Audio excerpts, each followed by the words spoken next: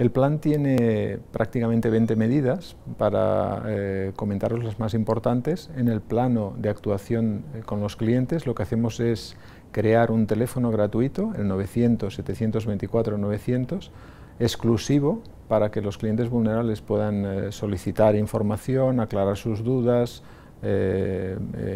comentar problemáticas en las que les podemos ayudar. Este teléfono estará las 24 horas, 7 días a la semana. Eh, y también reforzaremos las comunicaciones y la información en los procesos de impago, cuando tengan dificultades de pagar, para darles todas las oportunidades y toda la información para que o bien vayan a los servicios sociales o nosotros les podamos ofrecer toda la ayuda que necesiten.